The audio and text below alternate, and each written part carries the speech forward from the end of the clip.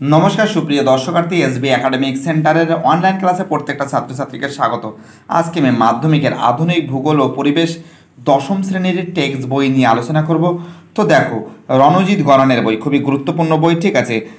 প্রান্তিক প্রকাশনী, খুবই গুরুত্বপূর্ণ বই। এই বই যদি ভালো করে তোমরা যদি ফলো করো, আমি বলতে পারি হান্ড্রেড পারসেন্ট তোমরা একটা ভালো রেজাল্ট করবে। সুপ্রিয় দর্শকার্থী, আজকে আমি প্রথম অধ্যায় নিয়ে আলোচনা করব। তাহলে আলোচনা করা যাক প্রথম অধ্যায়। তো দেখো তোমরা এই যে, প্রথম অধ্যায়, ঠিক আছে? এই যে, দেখো, একটু জুম করে দিচ্ছি, ঠিক আছে? এই যে, বহির্জাত বহির্জাত প্রক্রিয়া ও তাদের দ্বারা সৃষ্ট ভূমিরূপ। এই অধ্যায় থেকে যাবতীয় প্রশ্নগুলো, ঠিক আছে? বাম স্তম্ভ, ডান স্তম্ভ, শূন্য স্থান, সত্য, মিথ্যা, এইগুলো নিয়ে বিস্তারিত আলোচনা করব। ফার্স্ট প্রশ্ন এক দাগে, বহির্জাত প্রক্রিয়ার মূল উৎস হলো অ্যান্সার এর অ্যান্সার সূর্য। দুই দাগের প্রশ্ন, ভূমিরূপ পরিবর্তনের কোনটির প্রভাব সর্বাধিক? সবাই জানে এটা নদী। তিন দাগে কোন কি বলেছে মহাদেশে ভূমিরূপ পরিবর্তনে নদীর ভূমিকা নেই? অ্যান্সার ডের অ্যান্সার অ্যান্টার্কটিকায় চার দাগের প্রশ্ন, পশ্চিমবঙ্গের কোন জেলায় ক্ষয় সীমা রয়েছে? অ্যান্সার হবে সি এর অ্যান্সার পূর্ব মেদিনীপুর।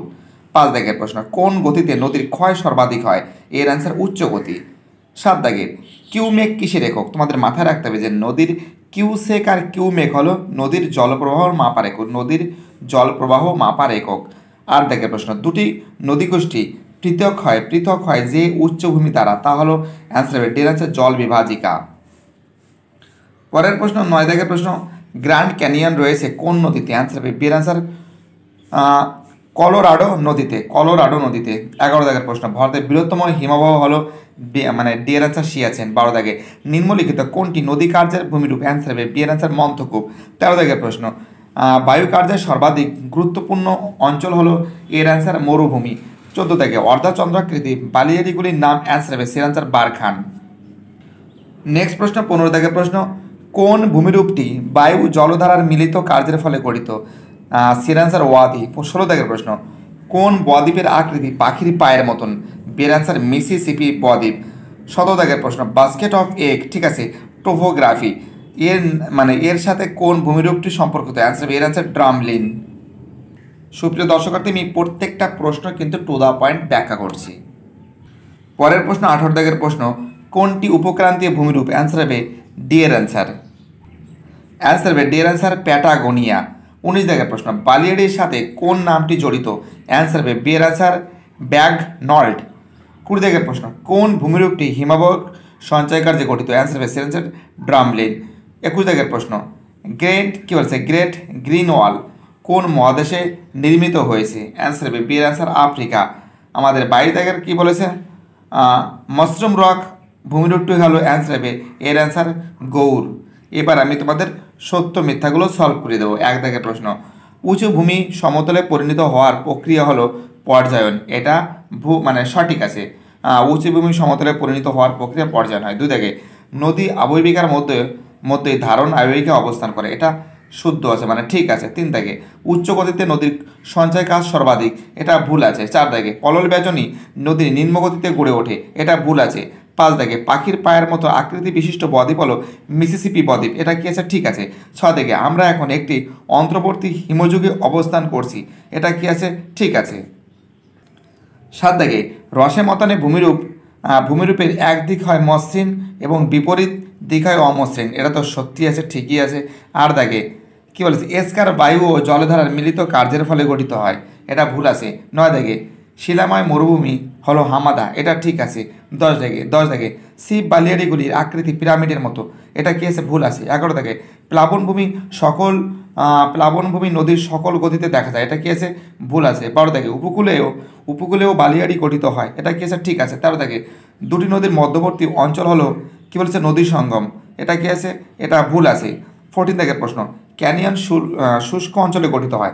এটা কি আছে? ঠিক আছে। পনেরো দাগে নদী বাঁকের অবতল অংশ খাড়া ও উত্তল অংশ মৃদু ঢাল মৃদু ঢাল। এটা কি আছে? এটা ঠিক আছে। সুপ্রিয় দর্শকার্থী, এবার তোমাদের আমি শূন্যস্থান সলভ করিয়ে দেবো। ফার্স্ট প্রশ্ন কি বলেছে? অবরোহণ প্রক্রিয়া ড্যাশ প্রক্রিয়া নামে পরিচিত। অবরোহণ প্রক্রিয়া ড্যাশ প্রক্রিয়া নামে পরিচিত। এর অ্যান্সার হবে, এর অ্যান্সার হবে নগ্নি ভবন। কী হবে? নগ্নি ভবন। ঠিক আছে, কি বলছে বুঝতে পারছ? পরের প্রশ্ন কি বলেছে? মানে অবরোহণ প্রক্রিয়া, এই যে অবরোহণ প্রক্রিয়া, নগ্নি ভবন প্রক্রিয়া নামে পরিচি- পরিচিত। ঠিক আছে, পরের প্রশ্ন কি বলেছে? দু দাগের প্রশ্ন, দুটি নদীর মিলন অঞ্চলকে ড্যাশ বলে। সুপ্রিয় দর্শকার্থী, এই যে এর বলে নদী সঙ্গম বলে। ঠিক আছে, নদী সঙ্গম বলে। ঠিক আছে, এই যে, দুটি নদীর মিলন অঞ্চলকে নদী সঙ্গম, ঠিক আছে, নদী সঙ্গম বলে। মিলনকে নদী সঙ্গম বলে। পরের প্রশ্ন কী বলেছে? তিন দাগের প্রশ্ন। তিন দাগের প্রশ্ন বলেছে, ড্যাশ গতিতে নদী পার্শ্বক্ষয় ও সঞ্চয় উভয়ই করে। তো দেখো মধ্য গতিতে কী হবে? মধ্য গতিতে সুপ্রিয় দর্শকার্থী, কী হবে? মধ্য গতিতে এই যে মধ্য গতিতে কী আছে? মধ্য গতিতে নদী পার্শ্বক্ষয় ও সঞ্চয় উভয়ই ঠিক আছে, করে থাকে। পাঁচ দাগের প্রশ্ন, ভারতের পার্বত্য অঞ্চলের নদীতে ঠিক আছে, গিরিখাত দেখা যায়। ঠিক আছে, কি বলছে বুঝতে পারছ? ভারতের পার্বত্য অঞ্চলের নদীতে কী দেখা যায়? গিরিখাত দেখা যায়। পাঁচ দেখে মন্থকূপ গভীর আহ, মন্থকূপ নদীর উচ্চ গতিতে গড়ে ওঠে। ঠিক আছে? ছয় দেখে ল্যাম্বার্ট পৃথিবীর বৃহত্তম মহাদেশীয় হিমাবহ। ঠিক আছে? সাত দেখে হিমাবহ ক্ষয়ে সৃষ্ট দুটি করির মধ্যবর্তী শৈলশিরার কে শৈলশিরাকে কি বলা হয়? এরিটি বলা হয়। আর দেখে প্রশ্ন রসে মতন ভূমিরূপকে হিমাবয়ের প্রবাহের দিকের অংশ মসৃণ হয়। দশ থেকে পৃথিবীর বৃহত্তম মরুভূমিটি আফ্রিকা মহাদেশে রয়েছে। ঠিক আছে? তো নয় জায়গায় প্রশ্ন হয়ে গেল।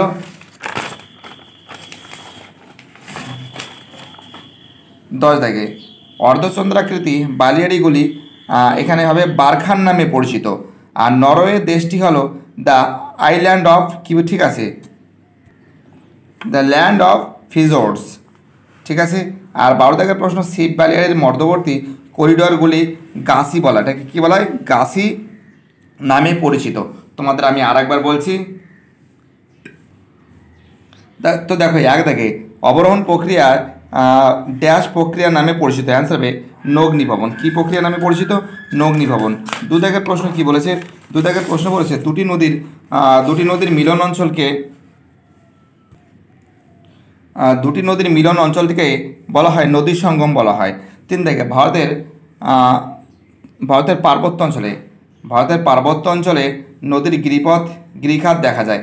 আর তিন দেখে হবে, এখানে হবে মধ্যগতিতে। মধ্যগতিতে নদীর পার্শ্বক্ষয় ও সঞ্চয় কাজ উভয়ই করে থাকে। পাঁচ থেকে মন্তকূপ নদীর, ঠিক আছে মন্তকূপ নদীর উচ্চ গতিতে গড়ে ওঠে। ছয় থেকে ড্যাশ পৃথিবীর বৃহত্তম মহাদেশী হিমবাহ। অ্যান্সার হবে ল্যাম্বার্ট হবে। সাত দাগে কি বলেছে? হিমাবহ ক্ষয়ে সৃষ্ট দুটি করির মধ্যবর্তী শৈলশিরাকে কি বলে? অ্যান্সার হবে এরিটি বলে। আমাদের পরের প্রশ্ন কি বলেছে? সাত থেকে হিমাবহ ক্ষয়ের সৃষ্ট দুটি করির মধ্যবর্তী শৈলশিরাকে কি বলে? তো দেখো, এরিটি বলে। তো বলেই দিয়েছি। আর দেখের প্রশ্ন, রসে মতনে ভূমিরূপ ড্যাশ অংশে মসৃণ হয়। অ্যান্সার হবে, হিমাবহের প্রবাহের দিকে মসৃণ হয়। হিমাবহের প্রবাহের দিকে মসৃণ হয়। এবং নয় দেখে পৃথিবীর বৃহত্তম মরুভূমিটি হলো অ্যান্সার হবে আফ্রিকা মহাদেশে রয়েছে। আহ, তো দেখো দশ দাগের অ্যান্সার হবে অর্ধচন অর্ধচন্দ্রাকৃতি বালিয়াড়িগুলি বারখান বলেবে ঠিক আছে এবং আমাদের এটা হবে তো দেখো এগারো দাগের যে প্রশ্ন আছে এগারো দাগের যে প্রশ্ন আছে এর অ্যান্সার হবে নরওয়ে দেশটি নরওয়ে দেশটি। আর বারো দাগের যে অ্যান্সার হবে এটা হলো গাছি হবে গয়াকার দন্ত সয়সী এবার দেখো তো ম্যাচগুলো করা আছে দেখো মন্তকভাবে ঠিক আছে মন্তকভাবে রোমান্ত্রিতের নদী ক্ষয়কার্যের ফলে সৃষ্টভূমি ঠিক আছে হর্ন হবে তোমাদের হচ্ছিল বিয়ের অ্যান্সার হিমাবয় ক্ষয়কার্যের ভূমি ইনসেল বার্জ হবে আমাদের সিয়ের অ্যান্সার হবে বায়ুর ক্ষয়কার্যের ফলে সৃষ্টভূমি ঠিক আছে আহ, বহিং বিধৈত সমভূমি তো দেখো এর অ্যান্সার হবে এই যে এই যে ডি এর অ্যান্সার ঠিক আছে হিমাবহ ও নদীর মিল মিলিত কার্যের ফলে ভূমি ঠিক আছে আর ড্রামলিন হবে তো দেখো ইতে ড্রামলিন হবে এইটা হবে হিমাবয় সঞ্চয় কার্যের সৃষ্ট ঠিক আছে ড্রামলিন আর লোয়েস হবে আমাদের এই যে লোয়েস হবে এইটা, বায়ু সঞ্চার কার্যের ফলে সৃষ্ট ভূমিরূপ তো দেখো, এবার আমি সুপ্রিয় দর্শকার্থী, তোমাদের এবার আমি এসে কিউবগুলো সম্পূর্ণরূপে টু দ্য পয়েন্ট আমি সলভ করে দেবো, ঠিক আছে? এক দাগের প্রশ্ন কি বলেছে, ক্ষয়সীমা ধারণার প্রবর্তক কে? সুপ্রিয় দর্শকার্থী, এর অ্যান্সার হবে J W Powell, J W Powell. এই দেখো, তোমাদের ক্ষয়সীমা ধারণার প্রবর্তক হলেন জে ডাব্লিউ পায়েল। পরের প্রশ্ন কি বলেছে? দু দাগের প্রশ্ন। নদী যেখানে সাগরে মেশে, সেই অংশকে কি বলে? তো দেখো, সুপ্রিয় দর্শকার্থী, এর অ্যান্সার হবে, এই যে দেখো সলভ করা আছে। নদী যেখানে সাগরে মেশে, সেই অংশকে কি বলে? অ্যান্সার হবে, মোহনা বলে। তিন দাগে, নদী কোন গতিতে সর্বাধিক সঞ্চয় করে? অ্যান্সার হবে, নিম্ন গতিতে নিম্ন গতিতে। চার দাগের প্রশ্ন নদীর জলপ্রবাহ নদীর জলপ্রবাহ কোন এককে মাপা হয়? অ্যান্সার হবে কিউসেক ও কিউমেক পনেরো পাঁচ দাগের প্রশ্ন, কোন প্রকার হিমবাহ থেকে হিমশৈলের উৎপত্তি ঘটে? কোন প্রকার হিমবাহ থেকে হিমশৈলের উৎপত্তি ঘটে? অ্যান্সার হবে মহাদেশীয় মহাদেশীয়। পাঁচ দাগে, হিমবাহ সঞ্চয় উল্টানো নৌকার, নৌকায় নৌকার মতন যে মরুভূমির নাম কি?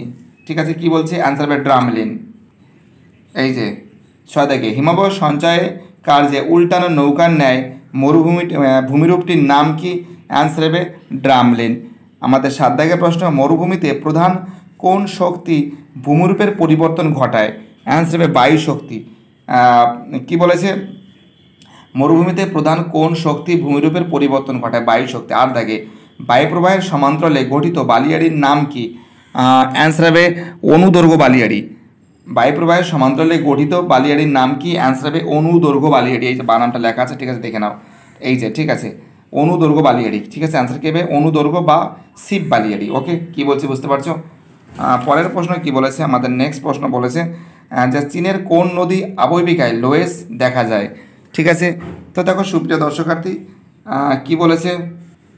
এই যে, চীনের কোন নদী আবহবিকায় লোয়েস দেখা যায়? অ্যান্সার হবে হোয়াং হো হোয়াং হো আর এখানে আরেকটা প্রশ্ন বাকি ছিল নদাগের ভারতের বৃহত্তম নদী বদ্বীপ কোনটি? অ্যান্সার হবে মাজুলি। ঠিক আছে অ্যান্সার কী হবে? মাজুলি হবে। আমাদের পরের প্রশ্ন কি বলেছে? এগারো দাগের প্রশ্ন, পৃথিবীর উচ্চতম জলপ্রপাত কোনটি? অ্যান্সার হবে সান্টো অ্যাঞ্জেল। পৃথিবীর উচ্চতম জলপ্রপাত কোনটি? অ্যান্সার হবে সান্টো অ্যাঞ্জেল। এগারো দাগের প্রশ্ন, মরুভূমির শুষ্ক নদীখাত কী নামে পরিচিত? অ্যান্সার হবে ওয়াদি। অ্যান্সার কী হবে? ওয়াদি হবে। আর পৃথিবীর উচ্চতম জলপ্রপাত তো দেখেছ, সান্টো আঞ্জেল আর মহাদেশীয় হিমাবহ অঞ্চলে বরফ মুক্ত পর্বতের শিখর দেশে শিখর দেশে কী নামে পরিচিত? অ্যান্সার হবে নুনাটাক্স। নয় ইস্যু নয় ট একার ক এই যে, দেখো আমি তোমাদের শর্ট করে দিয়েছি, এই যে, ঠিক আছে, এই যে সলভ করা আছে। মহাদেশীয় হিমাবহ অঞ্চলে বরফ মুক্ত, ঠিক আছে, বরফ মুক্ত পর্বতে, এটা কিন্তু পর্বতে লেখা, ঠিক আছে, বরফ মুক্ত পর্বতে শিকড় দেশে কী নামে পরিচিত? অ্যান্সার হবে নুনাটাক্স। ঠিক আছে, সুপ্রিয় দর্শকার্থী, আমাদের পরের প্রশ্ন কি বলেছে? তেরো দাগের প্রশ্ন। ইনসেল বার্স আর ক্ষয় হয়ে, আরও ক্ষয় হয়ে, ঠিক আছে, বোল্ডার রূপে থাকে, তা কী নামে পরিচিত? অ্যান্সার হবে, ঠিক আছে বোর্ন হার্ট বোর্ন হার্ট ঠিক আছে? আমাদের পরের প্রশ্ন, কেটল হ্রদের নিচে কেটল হ্রদের নিচে স্তরে স্তরে সঞ্চিত পলিরাশি কী নামে পরিচিত? অ্যান্সার হবে, ভাব, ভার্ব বলে, কি বলে? ভার্ব বলে। এই যে, দেখে নাও তোমরা। ঠিক আছে, একটু জুম করে দিচ্ছি। এই যে তেরো দাগে মহাদেশীয় হিম- হিমবাহ অঞ্চলে বরফযুক্ত পর্বতের শিকড় দেশে কী নামে কী নামে পরিচিত? অ্যান্সার হবে নুনাটাক্স আর চোদ্দ দাগে ইনসেলবার্স আরও ক্ষয় হয়ে বোল্টার রূপে থাকলে তাকে কি বলে? অ্যান্সার হবে বোর্ন হার্ট বোর্ন হার্ট ঠিক আছে, এই যে বানানটা তোমরা আর একবার দেখে নিচ্ছ। এই যে, ঠিক আছে, এই যে হ্যাঁ বোর্ন হার্ট ঠিক আছে? পরের প্রশ্ন কি বলেছে? ফিফটিন থেকে প্রশ্ন, কেটল হ্রদের নিচে স্তরে স্তরে সঞ্চিত পলিরাশি কী নামে পরিচিত? অ্যান্সার হবে ভার্ব বলে ভার্ব বলে, এই যে ভার্ব বলে, বানানটা দেখে নাও, ঠিক আছে? ভার্ব বলে।